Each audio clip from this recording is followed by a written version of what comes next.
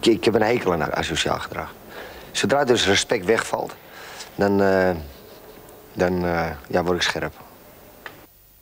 Ja, ik, ik, ik, bij mij is de basis in alles is respect. Uh, je hoeft het niet overal met eens te zijn, dat is wat anders. Ik denk dat je respect moet hebben voor waar je op loopt, waar je op leeft.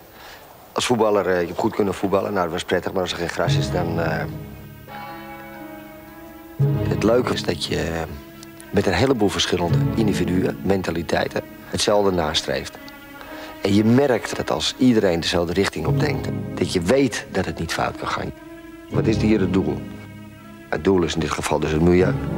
Als iedereen op zijn gebied nou zijn verantwoordelijkheid aanneemt. Mensen zien mij en die zien me dan als uh, voetballer, trainer, maar in ieder geval de publiciteitspersoon. En dan praat ik altijd over je of ons. Ja, ja, ja ik ben dus, ben dus ik wie thuis uh, de batterij netjes apart doet. Ik denk wij gewone mensen hoeven helemaal niet uh, briljant te zijn om het probleem van milieu op te lossen.